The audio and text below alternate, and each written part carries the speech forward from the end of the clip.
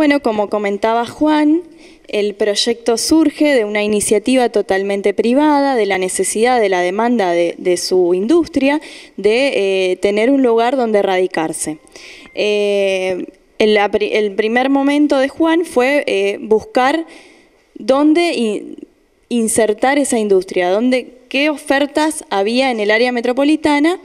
y de todas las posibilidades que pudo analizar, eh, la, mejor, la, mejor opción y sobre todo por la ubicación estratégica que tiene es em, esta, esta, propuesta que se va a desarrollar sobre autovía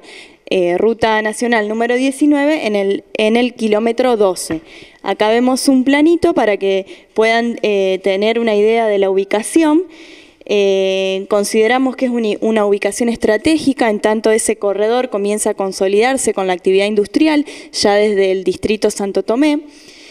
Eh, por otra parte, está bien próxima a uno de los retornos que, que permite un acceso rápido al área industrial, que desde la comuna surge la iniciativa de avanzar en paralelo con eh, un proyecto de plan de ordenamiento territorial que daría sustento al uso industrial sobre la Ruta 19 y acompañaría otras acciones para un desarrollo sostenible eh, futuro de la localidad. Decimos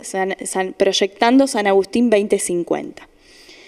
Eh, ¿Qué es esto? Que es el, plan de ordenamiento territorial, que está enmarcado en el decreto número 1872, sancionado en el 2017 por eh, la provincia. Esto permitiría eh, obtener un diagnóstico de la situación de la localidad y llevar ese diagnóstico a concreto a proyectos en el territorio. En lo que respecta a la demanda, Em, lo que nosotras hicimos fue un relevamiento de industrias en uso no conforme en la ciudad de Santa Fe, siendo que es la ciudad central, el polo em, urbano mayor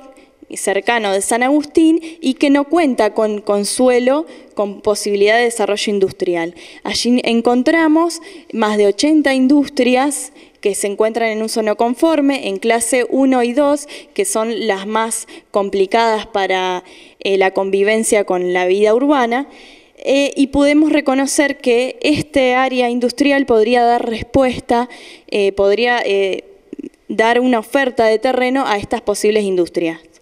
Y también a las industrias que se va, y con con mayor eh, razón todavía a las industrias que se quieran desarrollar eh, dentro del distrito San Agustín, eh, siendo que el, área urbana de San Agustín en el futuro se puede expandir y crecer para que las industrias no queden, digamos, en tensión con el área urbana este proyecto eh, podría estar dando una respuesta al desarrollo futuro de la industria en el distrito San Agustín. Eh, bueno, vamos a contar un poco las características generales eh, del proyecto. Bueno, como ya se mencionó, desde un comienzo se viene trabajando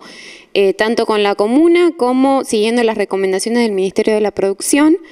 y bueno, hemos llegado a esta resolución espacial, digamos, y bueno, que tiene su propia normativa. Em, el concepto, bueno, en el terreno hay una laguna, eh, entonces em, empezamos a trabajar sobre esa idea, eh, apoyándonos eh, bastante digamos, fuertemente en la cuestión ecológica, el compromiso ambiental. Entonces, bueno, teniendo como remate esa laguna, el partido, digamos, la distribución fue em, armar ese eje verde, que es un gran bulevar, que vertebra todo lo que son los servicios comunes, después más adelante lo vamos a, contar brevemente, y todo lo, el resto de la superficie que aparece en azul es área loteada eh, con diferentes características, esencialmente diferentes superficies eh, para poder alojar mm, distintos tipos de industrias. Tenemos tres tipos de lotes, en cuanto a superficie, uno que tiene mayor visibilidad sobre la autovía 19, esos son lotes entre 2.800 y 3.000 metros cuadrados. Eh, después los otros terrenos que dan eh, al, Gran Boulevard Central, que son terrenos em, que tienen hasta 2.500 metros cuadrados, y después hay una franja, digamos, en la parte posterior de la parcela, eh, que son lotes un poco más chicos y están pensados esencialmente para industrias pequeñas, emprendedores, startups, eh, digamos, para dar, eh, junto con las facilidades de pago que va a tener esto, la posibilidad de que mm, pequeños emprendedores puedan tener también un lugar en este distrito industrial. bueno, el ingreso, me olvidé decirlo, está proyectado por el camino comunal, que hoy en día también da ingreso a otros establecimientos. Em, así que bueno, eh, la idea es para, eh, digamos, eh, no congestionar el tema de la 19, seguimos ese criterio. La cuestión ecológica está pensado el, eje como que funcione como un canal para, para recolectar y recuperar excedentes hídricos que van a ir a la laguna. Em, después, bueno, una abundante forestación para el tema de la captura de emisiones, la cortina forestal que es fundamental para para filtrar también este material particulado, olores, eh, bueno, la, posible instalación de biodigestores y bueno, se reserva eh, un área pensada como para la instalación de mm, energías, digamos, paneles solares o eh, evaluar alguna alternativa para que el, el ecodistrito pueda al menos parcialmente autosustentarse desde el punto de vista energético. Bueno, este gran eje que mencionábamos al principio, eh, sobre todo por recomendación del Ministerio de la Producción, eh, nos recomendaron dar, eh, digamos, brindar servicios para, toda la gente que va a trabajar acá. en principio se plantearon cuestiones básicas como el salón de usos múltiples, salas de reuniones, una sede bancaria, bar, café, restaurante. Se irán definiendo en función de lo que defina en su momento el consorcio, pero en principio, digamos, estas fueron como las opciones que se están manejando.